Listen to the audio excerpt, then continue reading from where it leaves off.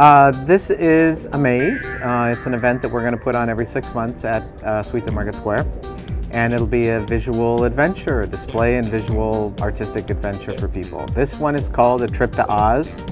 Uh, AHHS. We're hoping to uh, inspire and get some drop mouths out of this.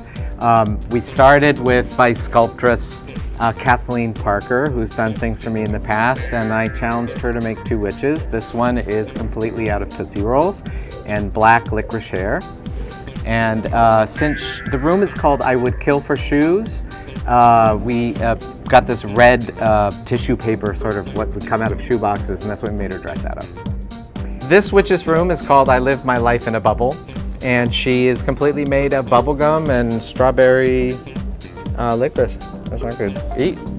Oh, it's good. Okay, this wall I call hot dog. I went to uh, Lowe's and checked out uh, Valspar colors and chose uh, color for each one of my favorite dogs in a book called Glamour Dogs. And uh, this is uh, to choose the color for your favorite, uh, it's called Canine Inspired Colors for every Dorothy and her Toto. You know, I, I love the Switch. She was my favorite. Um, she was so much about style, just everything about her. And this was the iconic scene, you know, Margaret Hamilton dying, death by melting. So uh, this reminds me that when we get all freaked out about solving our problems and we make ourselves miserable and everyone else around us, that sometimes the solution is as simple as a pail of water. So this is made out of, I think I counted 400 uh, dark uh, paint chips and a couple green for the hands and face. I have to say that my mom helped me with this room. She'll like that. Um, this is where I get all my creativity, I'm sure. Uh, this is the Poppy's room. It's called the Poppy Field Alternative.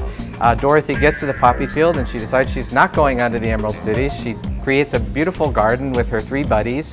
And uh, she has this view of the Emerald City, which we made out of thousands of labels of NyQuil, which we thought was kind of funny, and the Surrender Dorothy sky. And because I'm into ecological fibers, we planted the hills with uh, hemp plants. Uh, Dorothy apparently stayed and uh, uh, made ecological fibers for the big city. And the road is made out of uh, sleeves for coffee cups. This is Starbucks, and this is a generic one we found.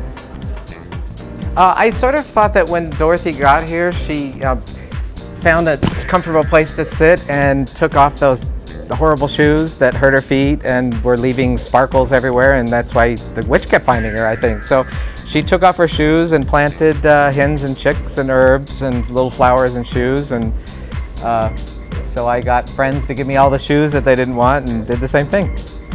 Uh, this room is called Making Do Well. It, it's uh, in reference to what it was like living during the Depression years when you had to use what you had and we're showing people that sometimes you don't need to go any further than your own trash to make something decorative and chic. I'm standing in our black and white room. Uh, this is me for the last couple of weeks. I was hoping I could get this project done in time. Uh, I love this room. It's my melt room. This is all about the uh, civil rights movement, uh, the uh, segregation era, uh, riots, black and white, Dorothy's black and white world. Uh, this is 100 pictures of hands doing different um, hand gestures, uh, international hand gestures in black and white. And this violent storm that took Dorothy out of her black and white world and transported her into a world of color is what you see when you look across the hall. So when you turn from the black and white room and you see the color, we have a paint chip rug made of thousands of paint chips on Home Depot uh, drop cloths. We have a Post-it Nation, 10,000 Post-it notes in color showing the United States. And then our sort of tongue-in-cheek gesture to color in America as opposed to black and white is that we have the White House made out of crayons. This uh, work of art is called Put a Little Color in Your White House. And across uh, from it, we have the Washington Monument in uh, crayons and paint chips as well. Okay, this room is called Plan Your Escape, and it's about a financial, a modern financial wizard that's discovered behind his curtain to be a fraud and he needs to get out quick and we decided that his escape pod was a chair made out of vintage bank bags.